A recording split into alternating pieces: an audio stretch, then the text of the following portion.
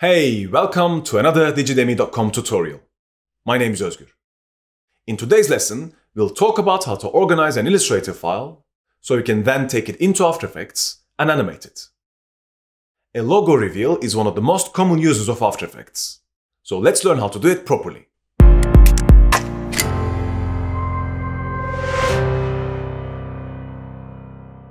Let's have a look at how we can animate this logo from start to finish by using Illustrator and After Effects.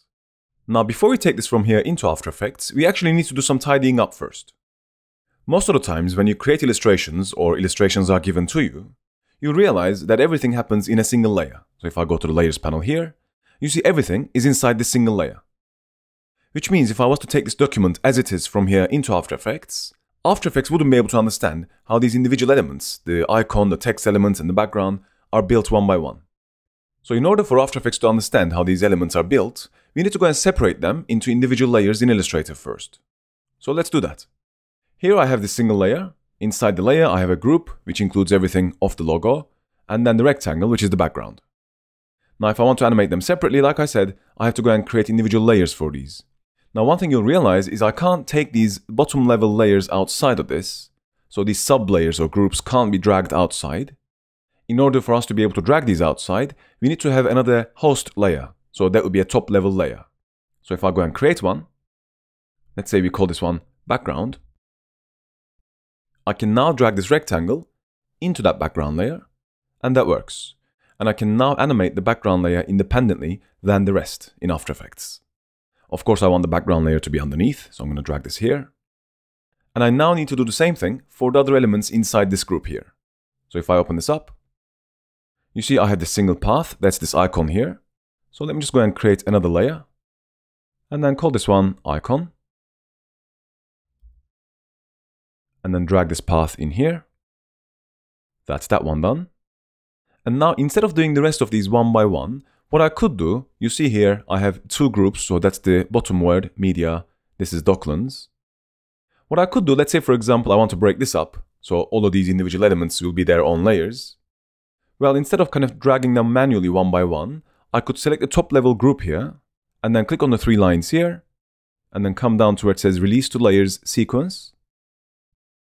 And that turns those groups or the sublayers into top level layers, which I can now drag out. So if I select them, I can now drag them out, like that. And now I have those individual layers there. I'll do the same thing for this group, which is the word Docklands here. So I'll select that layer, go to this menu here, and then release to layers sequence. Now I can take these out, like that. Now I'm left with this empty layer here, so I can just go and delete that. Right now we have the individual layers separated, so I'm going to go and rename them. Let's see which one that is. So that's D, O, C. So it's going in that order, so that's Docklands. Let me go and rename them to be Docklands like that.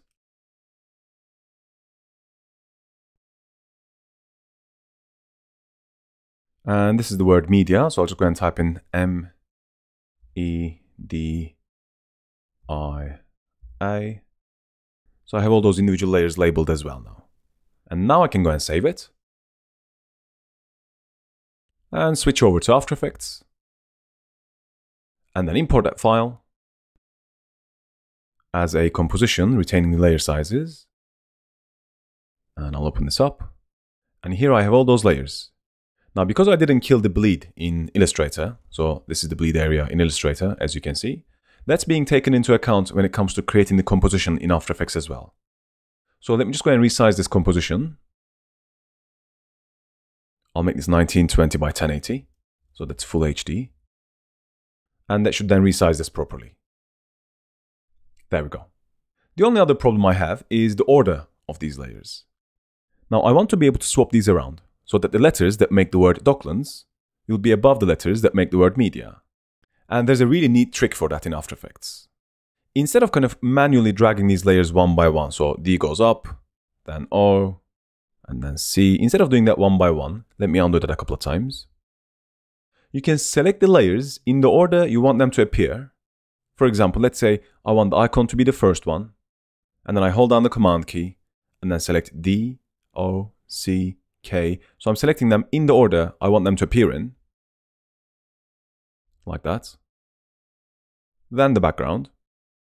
And if I now cut these layers by pressing Command X or by going to Edit, Cut, and then if I paste them, Command V or Edit, Paste, it will remember the order in which I've selected these layers, and it will paste them in here in that exact order. So here, as you can see, I have the icon first, then D, O, C, K, L, so it's the same order that I've selected them in. Because I have multiple Ds and multiple As, it puts these numbers next to them, which is fine, but if that's bothering you, you can just select the layer, press return, and delete those numbers. There we go. So let's talk about the animation we want to create now.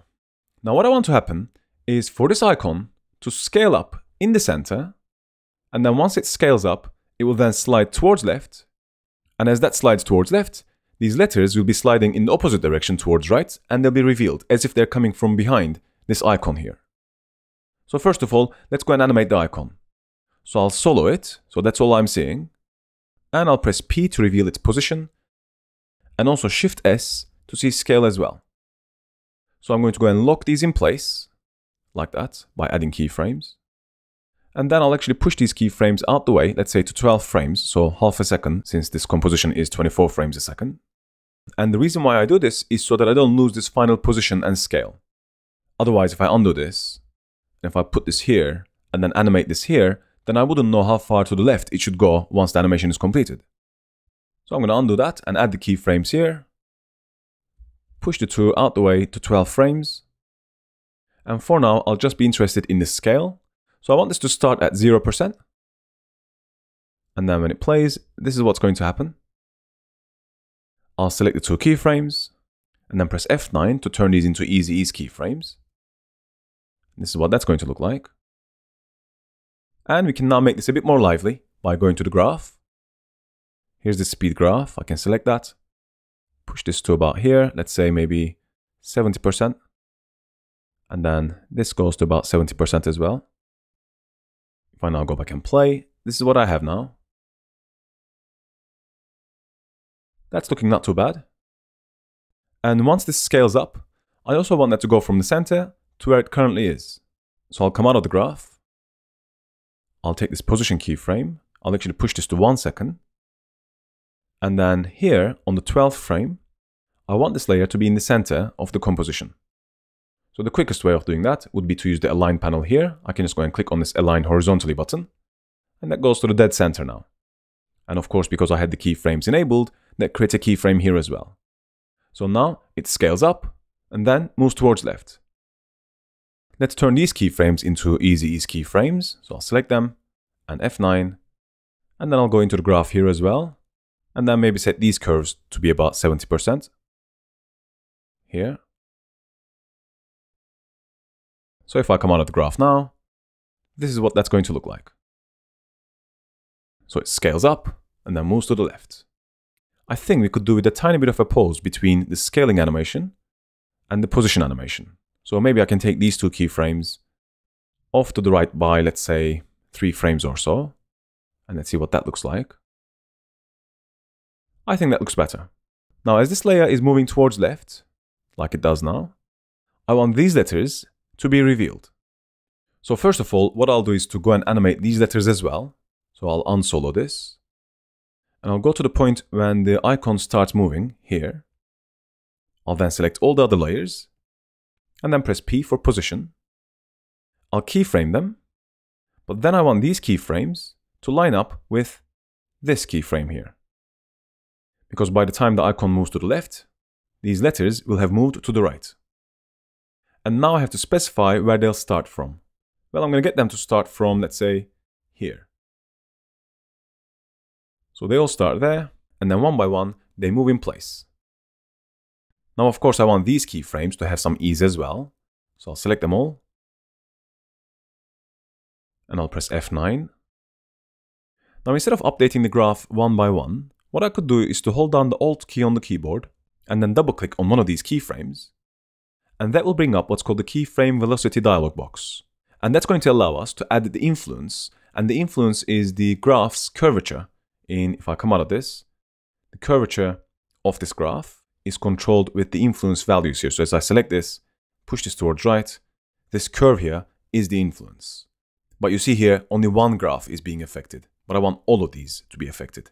So I'll undo this, come out of the graph, select all these keyframes again, Alt, double click on one of them, and I can set this to let's say 70% on the incoming velocity. The incoming velocity is the left hand side of the graph, and the outgoing velocity is the right hand side of the graph. So I'll set both to be 70%. If I now go back into the graph, you see all of these keyframes have been updated by the same amount. So if I come out and then play again, this is what we have. So far so good. But what I want to do now is to get the letters at the beginning to be invisible and only get revealed on the right hand side of this icon. So as soon as they cross to the right side of the icon here, they'll get revealed. Now although there are a couple of different ways of doing this, I want to show you how to do this with a track matte. So what I'm going to do is to go to a frame where the icon is kind of clear, let's say here, and then I'm going to draw a shape that's quite similar on the right hand side to the icon, and then maybe more of a rectangle on the left hand side. The reason why is if I go back now, is I want that shape, so imagine there's going to be a shape that goes like that, and then all the way to the left, and then down and right, and then curves again. And then that shape will be used as the mask for these letters. That's what I mean by a track matte. So let's do that. I'm going to come out of this, get my shape tool, let's say the ellipse tool to start with, and I can click and draw a circle holding down the shift key. And as I do this, if I hold down spacebar, I can reposition this as well. So I'm trying to get this to be the same size as the green icon behind. Let's say maybe here, especially the right hand side of this is important because that's where the letters are going to be revealed from. And then let me zoom in to see what that looks like. I can then make the outline invisible by clicking on this button. And now that looks like it's covering the shape behind it. If not, you could just use the arrows on the keyboard to nudge this in place, like that. And now that that's done, I'm going to draw another shape, a rectangle, to go from here all the way to here, and then down and right.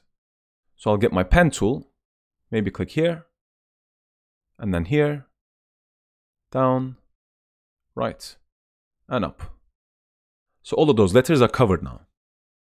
And now what I'm going to do is to use this shape as a track matte for all these individual letters. Now the quickest way of doing that would be to first go and pre-comp these letters. So let me first go and press Command A to select everything, and then Command tilde, so I don't see any of the individual elements. And then I have to take these letters and pre-comp them, so I can treat them as a single element, which will then be masked by this shape. So I can select that letter D, and then all the way down to A with the Shift key, then I can pre-comp them by pressing Command Shift C or right click, pre-compose, and now I'll call this Docklands Media. Hit OK. And I'll have to put the shape now just above Docklands Media. And then I'll go to toggle switches and modes at the bottom. And now I can go to the track matte of Docklands Media. And it will give me four options. Well, really, it's two options. It's either alpha matte or luma matte, or you can invert them. But I'm going to use alpha matte now to start with, and I'll show you what this does, and then I'll show you why we'll need to change it. So what alpha matte does is it looks at where this red element is visible, and only there the text becomes visible as well.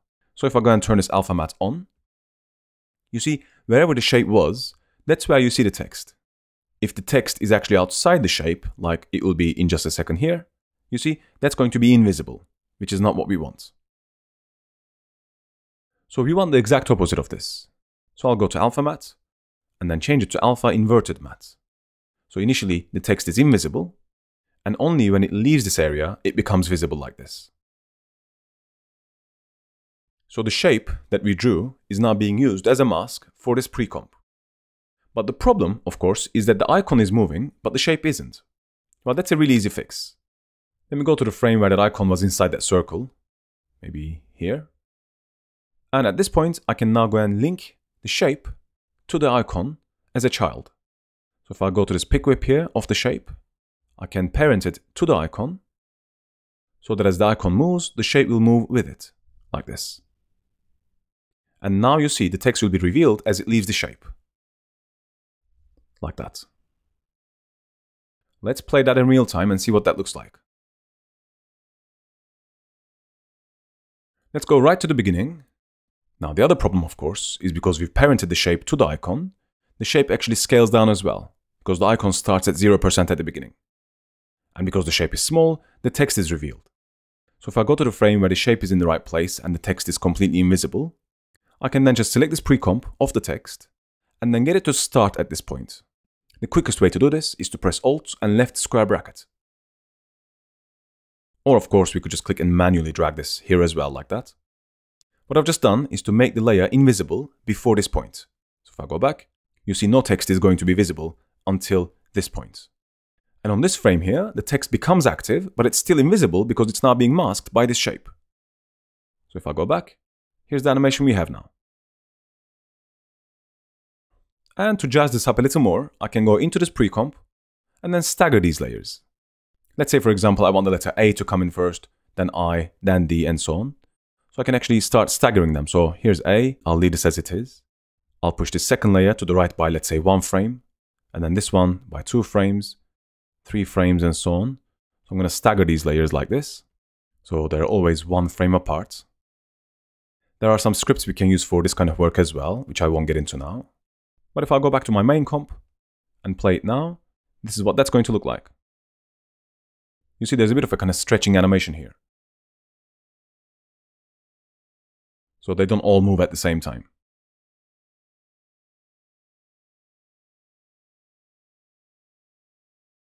One more thing I've just realized is that the shape and this green icon don't line up perfectly. Do you see if I zoom in, there's a bit of a gap between the letters and the shape.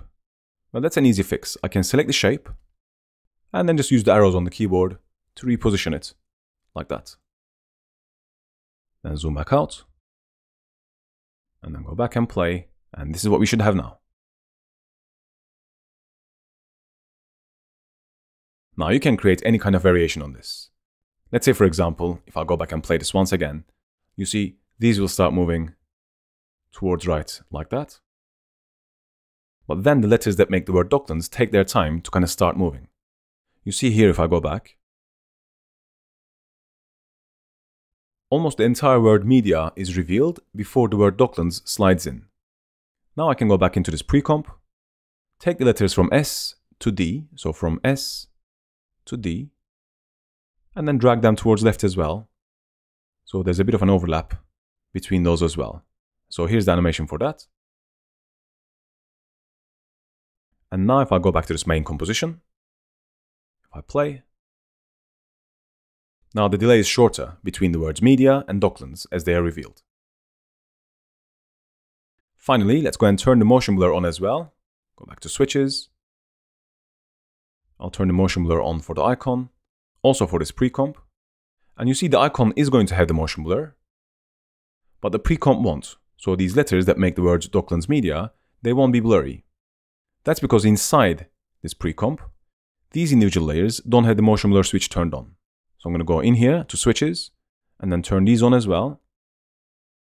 Then when I switch back, they'll be blurry here as well. So let me go back and play. This is the animation we have now. And that's how you can create a simple yet effective logo reveal by using Illustrator and After Effects. Before you go, if you want to win a free live and fully interactive course. You can enter our weekly prize draw, where you can win a 5-day course normally worth over $1,000. All you have to do is to hit the subscribe button and the bell icon here and cross your fingers. So don't forget to subscribe and I'll see you on the next one.